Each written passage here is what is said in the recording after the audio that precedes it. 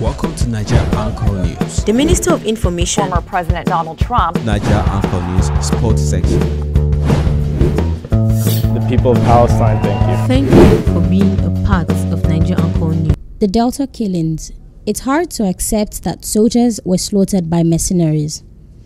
I'm Ololade Aremu, and this is the news in full. Elder statesman and leader of the Ijaw Nation, Edwin Clark, said it's difficult to believe the recent killings of the soldiers in Delta State communities were carried out by mercenaries. Clark stated this in an interview on Tuesday.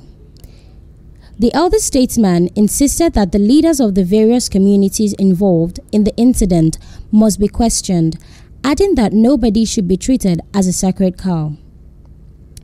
Clark described the incident as shocking, barbaric, and wicked, suggesting that the military, along with communities, should work together to fish out the people who committed this murder. He said, It's difficult to believe, and I don't think that we should expect this thing. Let's look out for ourselves. As I said, I spoke to Lieutenant Colonel on Thursday, and he went to that place on Thursday and died. Except they had information they were going to Okuama, otherwise, nobody knew they were going there. People came from outside to waylay them, to surrender, and it's a matter they should investigate. We can't rule out anything, but at the same time, let's look at ourselves.